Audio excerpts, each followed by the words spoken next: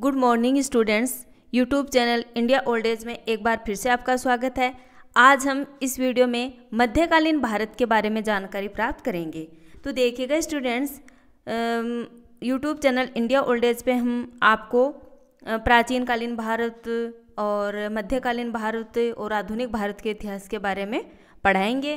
तो हमने प्राचीन कालीन भारत के बारे में भी काफ़ी वीडियोस बनाए हैं तो आप प्लेलिस्ट में जाकर देख सकते हैं। और आज से हम मध्यकालीन भारत के बारे में भी आपको पढ़ाना प्रारंभ कर रहे हैं। तो देखिए, सबसे पहले मैं आपको बताना चाहूँगी कि मध्यकालीन भारत है, ये कहाँ से स्टार्ट होता है? किस समय से स्टार्ट होता है? इसमें कौन कौन से काम होते हैं? कौन कौन से राजवंश आते हैं? ठीक है? तो इन सभी बातों के बारे में हम पढ़ेंगे तो देखिएगा मध्यकालीन भारत के बारे में जानकारी। तो देखिएगा मध्यकालीन भारत का समय है, यह छठी शताब्दी से लेकर सोलहवीं शताब्दी तक माना जाता है। इसे दो भागों में विभाजित हम कर सकते हैं, ताकि पढ़ने में आसानी रहे। तो देखिएगा पहला भाग है प्रारंभिक मध्ययुगीन काल और दूसरा है गत मध्ययुगीन काल, या फिर इसको हम प्रारंभिक आधुनिक काल भी कह सकते हैं, ठीक है?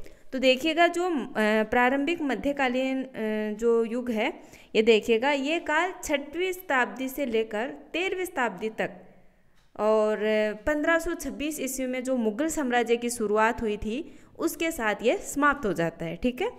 और फिर जो आपका गत मध्ययुगीन काल है, इसमें सोलहवीं शताब्दी से अठारहवीं शताब्दी तक जो मुगल काल आता है, उसके बारे में जानकारी प्राप्त की जाती है, ठीक है?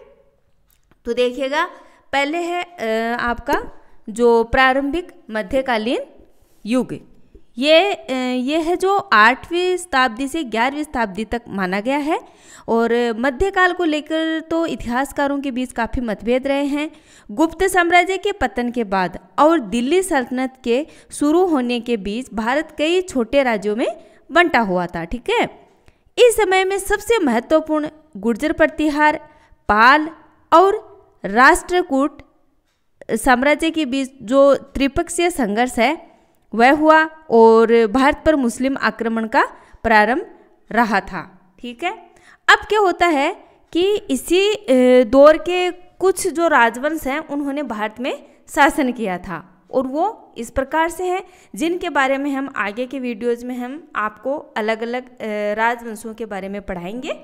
यहाँ पर हम आपको ओनली इनके नाम बता रहे हैं। देखिएगा, राष्ट्रकूट राजवंश गुर्जर प्रतिहार राजवंश, पूर्वी चालुक्य, पल्लव राजवंश, पाल राजवंश, चोल चोल राजवंश, पश्चिमी राजवंश, पूर्वी गंगवंश होसल राजवंश, काकतीय वंश, सेन राजवंश, परमार राजवंश और कर्नाट वंश। तो ये किस काल में थे राजवंश?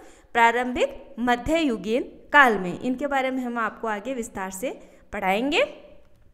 अब आपका आता है गत मध्ययुगीन काल। इसमें क्या क्या चेंजेज आए थे वो देखिएगा। पश्चिम से मुस्लिम आक्रमणों में तेज़ी हुई थी। इनके बारे में भी हम आपको आगे के वीडियो में बताएँगे अच्छे से। दिल्ली सल्तनत, गुलाम राजवंश आया था, खिलजी वंश आया तुगलक वंश आया सैयद वंश आया लोधी वंश आया और साथ ही साथ विजयनगर साम्राज्य का उदय हुआ। मंगोल आक्रमण हुए, दिल्ली सल्तनत का पतन हुआ, मुगल वंश आया, फिर मराठों का उत्कर्ष होता है और इसके बाद यूरोपीय शक्तियों का उदय होता है। अब देखिएगा, ये यूरोपीय शक्तियों का उदय इसको हम आधुनिक भारत में वैसे लेते हैं, लेकिन वैसे देखें तो ये जो गत मध्ययुगीन युग है, इसमें भी इसको माना गया है, ठीक है? तो जो यूरोपीय शक्तियाँ हैं, इनमें कौन कौन सी शक्तियाँ भारत आई थी? पुर्तगाली आए, डच आए, अंग्रेज़ आए और फ्रांसीसी आए थे, ठीक है? तो देखिएगा यहाँ हमने आपको शॉर्ट रूप में मध्यकालीन भारत के बारे में बताया है और इनके जो मेन मेन पॉइंट है वो आपको समझाए हैं। आगे की वीडियोज़ में इनके बारे में विस्तार से हम बताएँगे। और यदि हमारे वीडियो में आपको कोई कमी लगे तो आप हमें सुधार करने के लिए सुझाव दे सकते हैं। और हमारा वीडियो अंत तक देखने के लिए आप सभी का बहुत बहुत धन्यवाद।